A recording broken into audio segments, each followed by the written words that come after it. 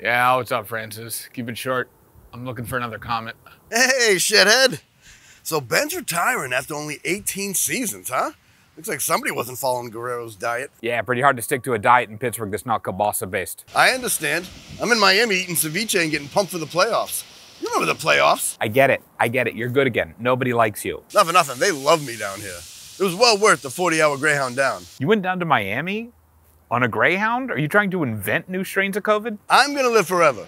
Hey, how long you give Ben before his first DUI? Well, it's about a five hour drive from Baltimore, so 30 minutes? It sounds about right.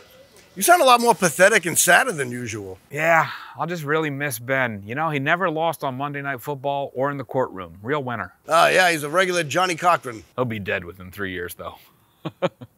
he's a goner. Ah, won't we all be? Who the hell is your quarterback right now? Do you think Charlie Batch is still pliable? Yeah, you know, might go with Mason Rudolph or bring in a free agent or might just take a gap year, take the whole season off. That was rhetorical. Nobody cares. Oh man, can you believe that Antonio Brown stuff? Yes, yes, I can. I just want everybody to remember he got all that head trauma when he was with us. Yeah, That's one thing I'll give you. People from Pittsburgh give great head trauma. You give it pretty good down in Miami, too. Oh, here's a challenge. Why don't you try to have eight mojitos and swim to Cuba? Yeah, and in your honor, I'll throw some french fries in it and hate myself. Yum. But seriously, you got to come commandeer a plane and get down here. There's nothing but sexy young co-eds and sun-kissed bottoms. Hey, you're super Irish. Make sure you put on that baby oil.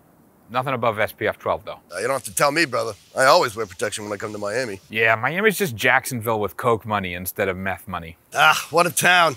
You've been keeping yourself busy lately? Yeah, I went to Ben's last home game. It was awesome. Still in Pittsburgh, though. Couldn't get out. COVID. Ugh. Are you saying uh to COVID or being trapped in Pittsburgh? Second straight year. Can't fly after January 6th.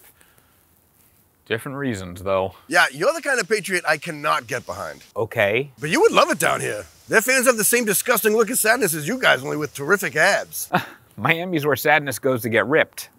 And HPV. What a town. You know, the great thing about Miami, it's super close to the United States. It's a new year, and I've just been thinking about this. You know, we, we both got a lot in common. No, we don't. We got Alabama running backs named Harris. We never heard our father say, I love you. And we both think Eli can eat a big sack of dicks. So, I don't know. You want to bury the hatchet? Well, you had me at Eli Dicks, but uh, yeah, go fuck yourself. No, no, no, no. Yeah, I didn't mean any of that either. Yeah, no, no, no. Nope, I was joking. It was a joke. It was a joke. I'm kidding. no, no. Oh, no, I'm never opening up again. Absolutely not. I am not opening up to anybody else ever again. Okay. that was a mistake. Why did I do that? Uh, there's a comment. I see a comment. Uh,